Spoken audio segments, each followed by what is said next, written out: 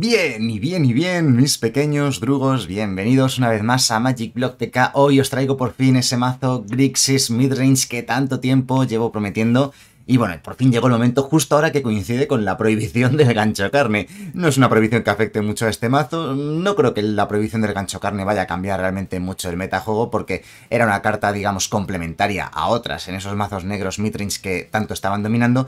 Y como digo, este mazo al introducir el color azul, pues bueno, la estrategia es un pelín distinta a la habitual. Sin duda, la gran estrella, la carta más llamativa de este mazo es Solcanar el Corrompido por 5 un 5-5 con 4 habilidades, tres de ellas muy La cuarta es bastante desfavorable, no la vas a usar hasta el último turno, lógicamente, momento en el cual el rival ganará el control de Solcanar el Corrompido. La idea es que ganas la partida antes de que eso ocurra, o en el peor de los casos, pues matas tu propio Solcanar antes de que el rival lo, lo obtenga, ¿no? Bueno, por lo demás, el resto del mazo, pues eh, cartas bastante típicas, habituales, sobre todo el color azul, yo diría que nos va a aportar esos contrahechizos. Llevamos una copia de Hora del Hechizo, que suele ser suficiente para jugar una por partida. Hacer desaparecer para jugar uno por partida.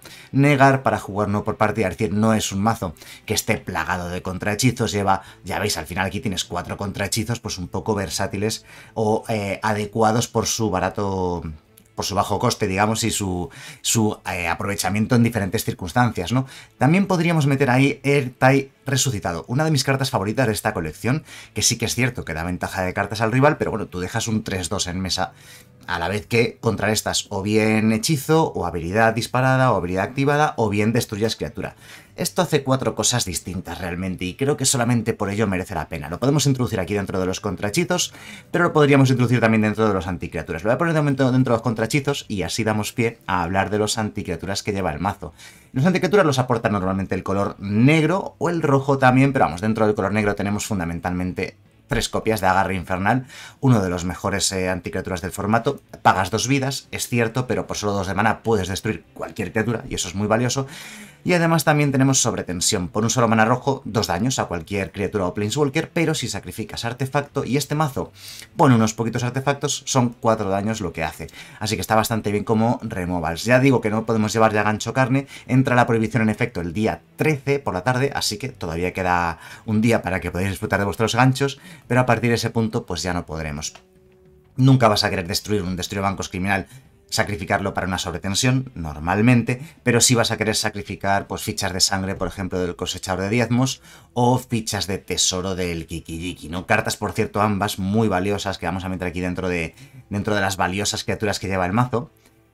¿Vale? Como son Subestimado Tenaz, una buena criatura agresiva que además se puede rejugar desde cementerio, Cosechador de diezmos de sangre que es un buen anticriatura además de una criatura agresiva, y el Kikijiki que es una de las mejores cartas del formato, sobre todo ahora después de la prohibición del gancho, es de lo mejorcito que queda porque es criatura, genera artefactos que dan maná, y luego además eh, te da de robar y descartar cartas. Y además al final se convierte en una criatura que copia otras criaturas. Es que hace tantísimas cosas que eso la hace realmente valiosa. No es la mejor en ninguna de sus áreas, pero sí que es muy buena en todas ellas. Y eso la convierte, ya digo, en un auténtico baluarte. Ya si sigo hablando de la ventaja de cartas, podemos hablar de Tasador de Cadáveres, carta excelente, por 3 un 3-3 que te va a dar otra carta. Tienes que cuando entra en juego exiliar una carta de criatura de un cementerio, ¿vale? Eso no suele ser demasiado complicado. Y eh, cuando lo haces, entonces miras las tres primeras cartas del top del mazo y pones una en tu mano. O sea, es decir, eh, no lo juegues a, para no robar carta, digamos. Y el destruir bancos también ventaja de cartas excepcional, del cual hemos hablado muchísimo y que bueno, pues está presente hoy en día casi todos los mazos porque casi todos los mazos son midrange. Por cierto, dentro de estrellas del mazo he dicho que Sol Canar es la gran estrella, pero ojo, no dejemos tampoco atrás a Seoldred, que es capaz de ganar partidas él solo, una criatura realmente muy peligrosa y que el rival debería matar si quiere ganar la partida. Uno de los problemas de estos mazos es que no tienen formas de ganar vidas habitualmente, pero Seoldred justo funciona muy bien en ese sentido, porque te hace ganar vidas de forma directa y contra otros mazos agresivos, si es que los hay, eh, pues va a funcionar realmente muy bien. Y contra mazos de control también, porque hace perder vidas al rival cuando roba cartas, así que contra el control es duro. Mazo Grixis, por tanto, rojo, azul, negro. Todas las tierras rojas, azules, negras del formato, como podéis ver. Debajo del vídeo en la descripción os dejaré el listado completo del mazo para que lo podáis exportar a Magic Arena. Y como siempre, una copia de cada tierra legendaria de Kamigawa, porque eh, aunque son legendarias, pues tampoco te estorba una copia y pueden ser útiles. Hacen su trabajo de isla sin serlo, de pantano sin serlo y de montaña sin serlo. Lo digo porque no cuentan como tipos de tierra básica para lo que puedas eh, querer. Bueno, pues este es el mazo, vamos a ver qué tal se nos da, vamos a jugarlo como siempre pues en Ranked, no estoy muy alto en Ranked porque juego muy poquito últimamente, lo sabéis, pero estamos ahí en platino, que bueno, algo es algo, ¿no? Vamos a probarlo el mazo, no lo he jugado nunca, es la primera vez que lo voy a jugar, no, es un mazo muy complicado, es un mazo de estos mid-range de control con un montón de ventaja de cartas, un montón de, anticriaturas y cartas buenas en general, ¿no?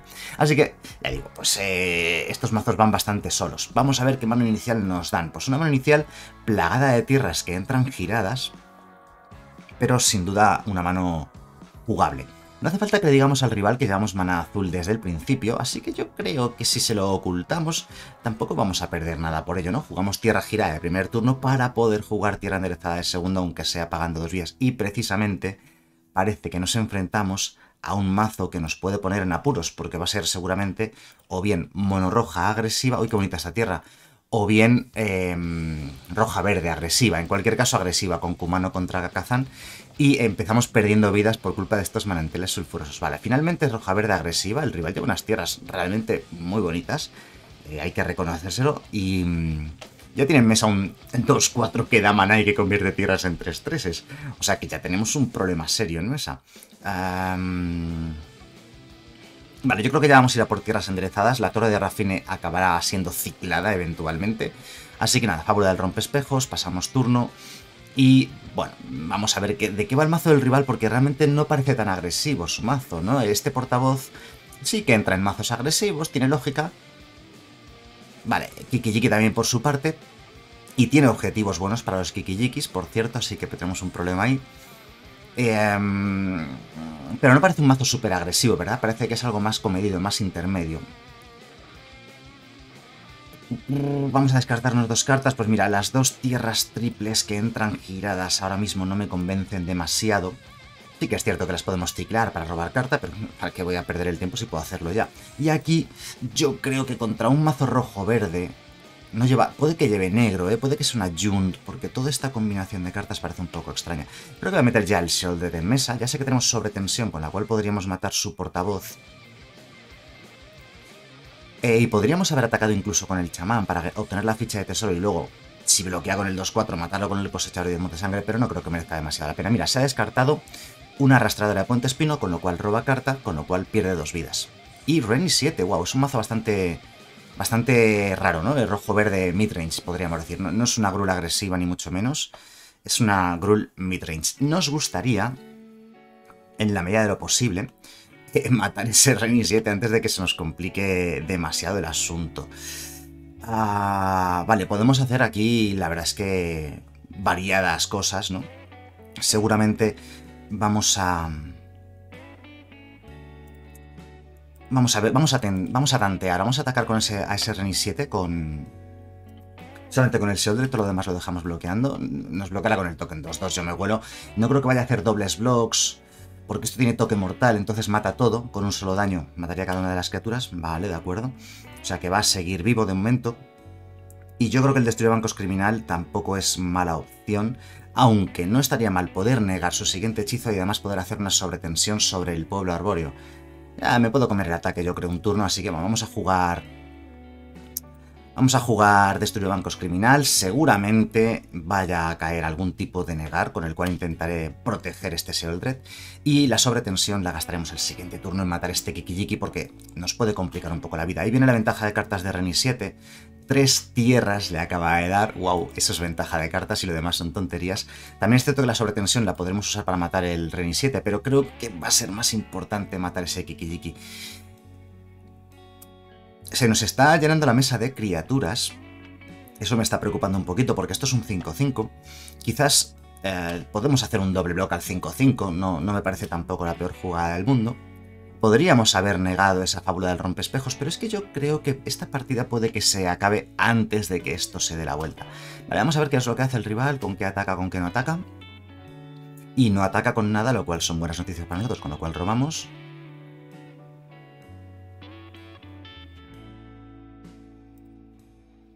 Vale, estaba pensando, una tierra estaría de lujo.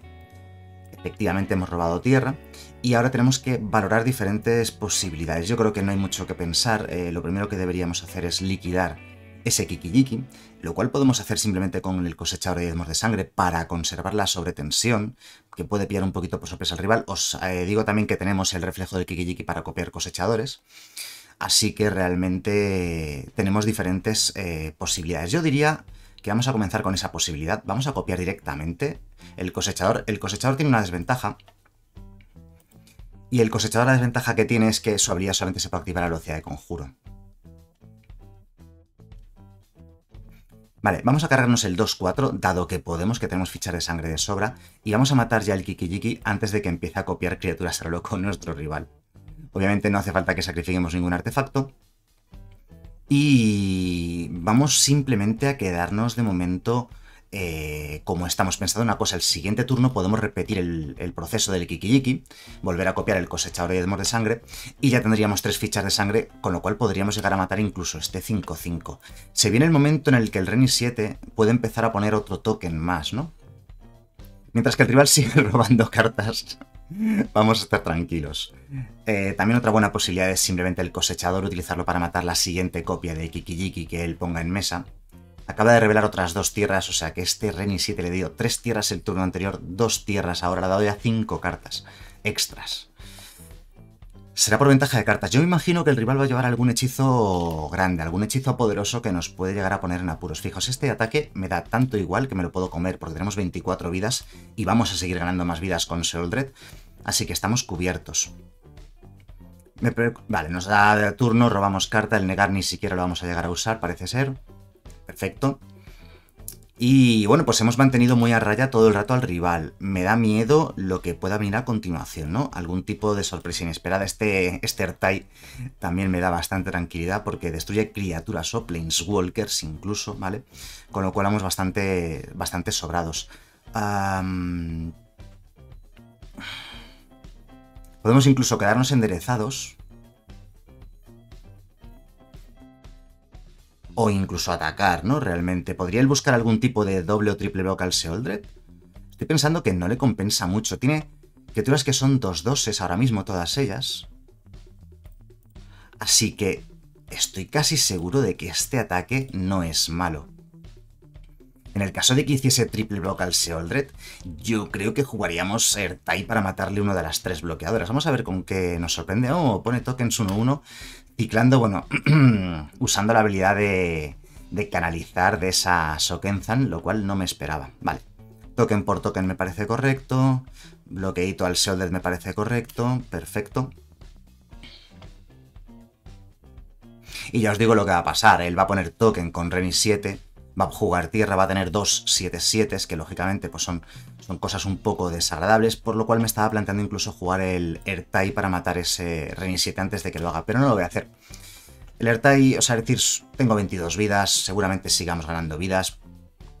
No hemos usado la habilidad de Kikijiki porque lo vamos a hacer al final de su turno, lo cual también nos vale.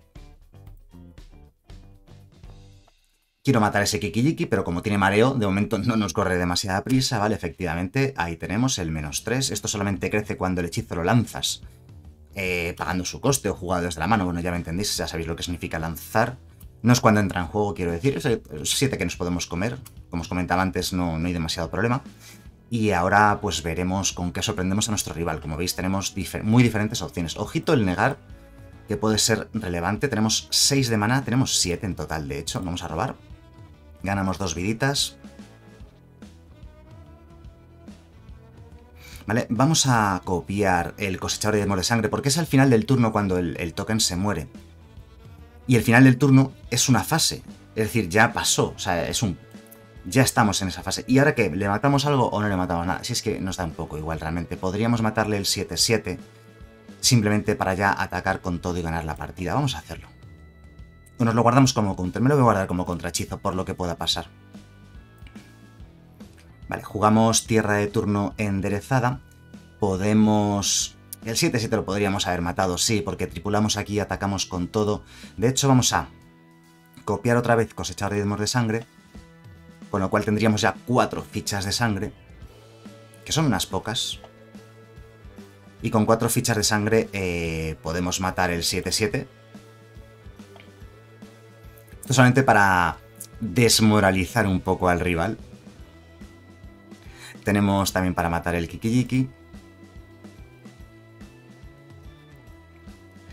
Creo que seguir metiendo presión tripulando esto. Vale, le matamos el, el llama bestias. Yo creo que no hace falta. Si es que la partida parece bastante controlada. Este, es que él tiene... O sea, no tenemos daño letal aunque lo matemos. Por eso no lo estoy haciendo, ¿vale? Aunque matásemos el llama bestias Kirion con y resucitado, no tendríamos daño letal porque tiene otras dos criaturas para bloquear. Y espérate a ver qué tiene en mano, si tiene alguna sorpresa o algo. Esperemos que no. Por eso me estoy guardando básicamente el Ertai resucitado como un truco en mano. Y, pillar también por sorpresa al rival, lo que decíamos. Tenemos 3 y 3, 6, 7 y 2, 9 de maná, que es muchísimo maná. Más 3, más 3. Pues creo que lo voy a negar simplemente. Para que sobreviva Sheldred y el propio Sheldred ya gane la partida él solo. ¿Vale? Y bueno, pues la ventaja de cartas ridícula, ¿no? Que tenemos en esta partida. Bastante absurda, ¿no? Ah, ventaja de cartas. Vamos a jugar el tasador de cadáveres. Por, jugarlo, por, por, el que dirán, por no dejarlo ahí en manos sin usar. Le exiliamos una criatura de su cementerio. Y, uy, agarre infernal parece que está bien, ¿no? Así que perfecto, ya hemos jugado tierra de turno, por tanto no podemos jugar esta. Pues vamos, turno. Se van los tokens, tenemos 19 vidas, el rival está a 4, tenemos una ventaja enorme. Tenemos 3 de mana, nada más, la verdad, para echar eh, el agarre infernal. O sea, no podemos hacer el resucitado. Aquí quizás me, he equivocado un poco o he, he forzado un poco la máquina más de la cuenta. Esos 8 daños me los puedo comer. Venga, sí, mejor ríndete porque teníamos la partida súper controlada. Bueno, este primer rival estaba jugando un mazo fuera de metajuego completamente. Era una Gruul midrange muy extraña, la verdad y no, no me ha parecido que funcionase nada bien. Yo estaba esperando algún hechizo masivo, un hechizo estos de coste 7-8 que nos pillase por sorpresa y que, y que nos supusiese algún problema, pero no ha llegado ese hechizo, así que realmente hemos sido sobrados todo el rato. Me he equivocado ahí al final, como digo, he girado más mana del que debería y no podía jugar el Tide. Quizás me he confiado porque me he visto así, con mucha mucho control de la partida, pero no debería haberlo hecho, ¿eh? Creo que ha sido un error, tendría que haberlo pensado mejor. Vale, sale el rival, tenemos removal, removal, counter y en la estrella Solcanar. Me lo voy a quedar porque tenemos un buen cuarto turno y un buen quinto turno, ¿vale? Y removal para los dos primeros turnos por si el mazo del rival fuese agresivo. Las tierras no me gustan demasiado, pero es lo que hay. Tierra girada, lógicamente, tierra triple de primer turno para aprovechar bien nuestro maná que entre enderezado este al segundo turno y esto al tercero. Y bueno, Takenuma casi probablemente, casi seguro, eh, acabará siendo jugada como tierra, ¿no? Pero bueno, es una, una baza que tenemos ahí a largo plazo. Si es una mono blue tempo, lo vamos a tener muy complicado para ganarla.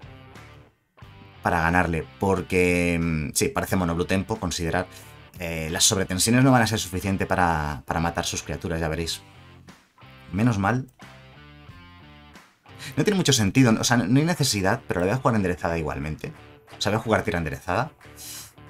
El rival ya sabe que jugamos una Grixis Midrange, sigue considerando opciones y posibilidades. Antes no tiró carta al cementerio, ahora tampoco, o sea que le están viniendo bien las cartas que le están saliendo. Y me da bastante... Este robo es muy bueno, este robo nos puede dar la partida en este emparejamiento. Es el mejor robo posible, yo creo, contra una mono blue tempo. Llevamos una copia de Doradar el Hechizo y la vamos a aprovechar, parece. Me da miedo los Jin, que aguantan 4 y la sobretensión ahora mismo sin artefactos en mesa pues no los mata. Creo que se la vamos a liar cuando... El problema es que, aunque le colemos un Solcanar, nos lo va a poder subir a la mano, porque lleva también eh, cartas para subir a la mano fácilmente, ¿no? Así que esto no va a ser tarea fácil. Me gusta el y que le va a matar el Jin, si es que... Joder, pero bueno, este rival solo roba cartas. Ahora me da miedo el, el Kraken ese, el, que tiene antimaleficio, ¿no? Ahí está el Jin, el cual tiene que entrar, le quedan dos manas enderezados, por tanto sería un poco tontería jugar el Rey resucitado así de cara.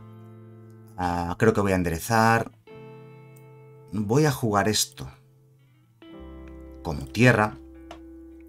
Y mi pregunta es si le intento matar el Jin arrogante. Pensad una cosa, puede llegar a jugar incluso dos hechizos, ¿eh? Con dos manas azules. Venga, vamos a jugar con fuego. Voy a intentar matarlo en mi fase principal. Porque si no me veo eh, un poquito con problemas. Y pues ya digo, espérate que no nos tire dos contrahechizos y que... Es que si le dejo enderezar va a ser peor todavía, con cinco cartas en mano, creo. Tendríamos que hacer doble sobretensión quizás al siguiente turno. Lo saca de fase.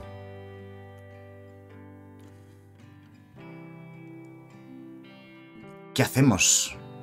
Vamos a contrarrestar esa marcha de la niebla y espérate que no tenga, como os decía, otro contrahechizo adicional ahora a nuestro dar el hechizo, por supuesto. Como así ha sido, wow. Bueno, pues evidentemente se nos complica un poquito la cosa, falla la habilidad de retalle resucitado, al menos el rival nos roba carta y tenemos un 3-2 en mes. Eso sí, él tiene un bicho que pega de 6, que no está mal. Vamos a intentar... Vale, roba en su fase principal, porque no tiene contrahechizos, creo que quiere decir eso. Así que quizás con un poquito de suerte estas sobretensiones puedan matar a su Jin. No quiero hacer Solcanar de cara porque este sí que es muy probable que te lo contrarreste y no tengas... No tengas nueve, madre mía. ¿Qué se ha descartado? ¿Es el cuarto considerar? No, es el tercero. Vale, tierra de turno. Voy lo primero de todo antes de nada a atacar. Por si se gira para hacer algo. ¡Oh, qué bien! Significa que va a tener menos posibilidad. No, no se gira. Vale, pues no hay mucha más historia. O sea, lo matamos ahora y se lo matamos. Posiblemente em, el peor emparejamiento posible para este mazo sea justo al que nos estamos enfrentando ahora, ¿eh? Bueno, Blue Tempo, porque te juega una amenaza y luego te contrarresta todo lo que vayas a hacer. Wow, empezamos mal.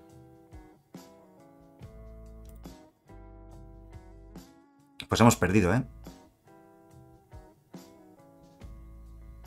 Vale, la única posibilidad es que con esto encontremos un anticriaturas, y que eh, no nos lo contrareste, con sus tres cartas en mano. ¡Wow! ¡Qué paliza nos ha metido el Jin arrogante! Bien jugado por parte del rival de todas maneras. No había criaturas en los cementerios, ni en el suyo ni en el mío. Bueno, vamos a finalizar el turno. En el mío no había ninguna criatura, eso es evidente. Pero en el suyo tampoco, claro, no, había caído. Como había tirado tantísimas cartas al cementerio, eh, en mi cabeza di por hecho que ya tenía, eh, que tenía una criatura, pero no nos lo sube a la mano, con lo cual ya tiene 11 hechizos y por tanto nos pega 11. ¡Wow! Paliza tremenda. Eh, el tasador no ha sido la mejor de las opciones. Tendría que haber hecho Solcanar, porque hace drenar vida de 3. Y he dado por hecho que nos lo iba a contrarrestar también. Lo que iba a hacer es subirnos a la mano, por tanto la habilidad del Solcanar tampoco... Es que no me parecía buena opción. Eh, la única opción que teníamos era lo que he hecho, es jugar el tasador de cadáveres. Para ver si encontrábamos anticriaturas. Problema. Que no había criaturas en los cementerios y, lo he dicho antes, si no exilias criatura con el tasador, no funciona. Así que nuestra única posibilidad no funcionaba y no hemos podido. No, podíamos hacer nada en ese momento. Lo he jugado un poco a ver si colaba, pensando, bueno, no quiero mirar si tiene criaturas en el cementerio. Voy a cruzar los dedos y, a ver si hay criaturas en su cementerio. Y, me da. Me daba un, un anticriaturas instantánea o algo, ¿no? Bueno, partida terrible, ¿no? Muy dura, muy dura. Vale, vuelve a salir el rival. Volvemos a tener dos de los tres counters que lleva el mazo, de los cuatro counters que lleva. Anticriaturas y Rikikijiki, ¿vale? Y un par de tierras giradas. Está bien, yo veo una mano bastante interesante. Muchas tierras giradas, pero... Pero bien. Otro mazo rojo agresivo. Bueno, primer mazo rojo agresivo, ¿puede ser? Vale, sí. Esto ya... Dos, dos manas rojos, dos generadores rojos te indican casi con total seguridad que estás ante un mazo rojo agresivo. Y creo que no es tontería jugar mana enderezado en este turno para poder hacer doble hechizo. Uno que mate su criatura pequeña y otro que contrarreste eh, un posible hechizo que no sea de criatura. No me voy a comer el daño, voy a matarle esto, o sea... No podemos permitirnos recibir daño contra un mazo de este estilo. Y por cierto, este mazo tiene dos formas de ganar vidas, no solamente el Shoulder, sino también el Soul Canar, que no lo dije antes durante el deck tech. Juégame algo que no sea que no sea criatura, por favor. Omnixilis, wow, venga. Roja negra, agresiva, una Rakdos agresiva. Llevaba yo precisamente, os comento, llevaba yo un tiempo ya pensando precisamente, aquí sí nos, nos vamos a girar, pensando que una Rakdos agresiva de este estilo podría funcionar. Lo vamos a ver ahora, tenía mucho, mucha curiosidad, no, me había puesto a montarla, pero estaba pensando que podría llegar a funcionar en el actual estándar una Rakdos agresiva. Lo de Omnixilis no lo había pensado, pero sí Rakdos agresiva, ¿no? Así que ahora lo vamos a poder comprobar. Em, eh, eh, voy a bloquear. Voy a bloquear porque vamos a preservar nuestro total de vidas al máximo posible, dado que es un mazo rojo agresivo. Creo que es lo más inteligente, sin ningún tipo de duda. Y ahora me voy a descartar la tierra girada, que nos está dando un poquito de problemas, y yo creo que lo demás lo vamos a conservar. Otro Seoldred, venga, ya si llevamos dos Seoldred en este mazo. Vamos con Seoldred. Son vidas que él pierde, vidas que nosotros ganamos. Es posible que tenga removal en el color, por eso lleva el color negro, posiblemente lo pueda matar fácilmente. Y si no, pues si lo mata, pues tenemos otro Seoldred. Y si no, pues el Seoldred gana la partida por las vidas que nos va a dar y las que le va a quitar. Oh, Seoldred por sus partes también, ¿eh? Eh, ¿Sabéis qué mola? Que cada vez que, roba pierde vidas. ¿Qué significa eso? Significa que matárselo ya con eh, el resucitado va a ser muy gracioso. Le destruimos Seoldred y podemos seguir atacando.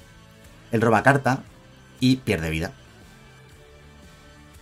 O sea, es decir, nos ha salido redondo. Hemos puesto criatura en mesa, le hemos hecho perder vidas y hemos hecho vía libre para nuestro propio Soldet para que siga atacando. Oye, me está gustando mucho este mazo. Me está pareciendo realmente muy bueno, ¿eh? Tremendamente recomendado este mazo. No voy a jugar la tierra porque le podemos sacar partido luego usando su habilidad de canalizar, ¿no? Que es para lo que la llevamos. Y con cuatro manas, bueno, más o menos podemos jugar todo lo que tenemos. Vale, pues veo la partida un poco en el bolsillo. Este Kikijiki no hace nada porque copia criaturas que no sean legendarias. Vale, y justo las otras dos criaturas que tenemos son legendarias nos mata el Kikijiki, que la verdad, como estaba comentando precisamente ahora, su trabajo ya lo ha hecho, que es, bueno, eh, darnos un 2-2 que mata una criatura suya, darnos una carta cuando nos descartamos eh, la torre de Rafin, y, ahora pues ser el objetivo de, una descarga de rayos. O sea, ha hecho tres cosas, ¿no? Básicamente ha hecho un 3x1, y precisamente lo que podía hacer ya el Kikijiki era algo que no nos aportaba nada en la partida. ¿Vale? Quizás le habría compensado más al rival hacer doble descarga de rayos a ese Seoldred, ¿no? Que le está, que le está comiendo los higadillos. Vale, perfecto, porque vamos a hacer cosechador de diezmos de sangre y nos queda mana para hacer negar a lo que pueda jugar a continuación. Me acabo de dar cuenta de que el turno entero podríamos haber hecho con las legendarias que teníamos en mesa, Takenuma por solo dos de mana, porque teníamos dos legendarias, pero como nos ha matado una de ellas, pues ya nada. Bueno, nos ha matado dos de ellas. Una partida súper fácil y, y no sé qué narices jugaba el rival. Bueno, pues eh, muy interesante el mazo, me ha gustado muchísimo. Obviamente hemos perdido de paliza contra la Mono Blue Tempo, pero es que es nuestra némesis. De todas maneras, esa Mono Blue Tempo la gente está infravalorándola mucho y creo que es uno de los mejores mazos del formato, por no decir prácticamente el mejor. Es que es enfrentarme a ella y, y, que me tiemblen las piernas. Juegue yo lo que juegue, ¿no? O sea, es buena contra todo, incluso contra mazos agresivos, como antes no lo era. Así que bueno, nada más, el vídeo ya sabéis, espero que os haya gustado. Eh, estamos muy cerca, lo llevo repitiendo ya un tiempo, pero porque me hace mucha ilusión, como es el 30 aniversario de Magic, alcanzar el 30 aniversario de Magic Biblioteca, es decir, los 30.000 suscriptores antes de fin de año, que bueno, parece que lo vamos a conseguir porque raro es el mes que no tengamos entre 500 y 1000 suscriptores nuevos, así que quedan dos meses y medio para final de año y nos quedan menos de 1000 suscriptores, así que bueno, esa cifra la, conseguimos, así que alcanzaremos el 30 aniversario de Magiblock TK.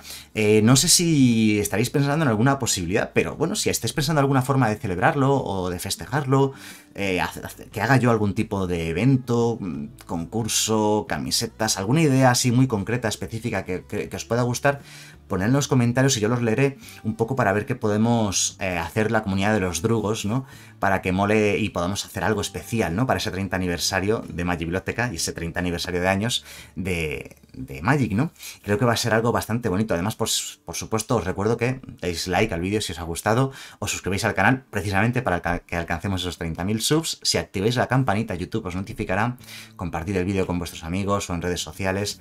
Y, ya digo, leeré luego vuestros comentarios. Así que, bueno, nada más. Espero que os haya gustado el vídeo. Nos vemos en el siguiente. Muchas gracias.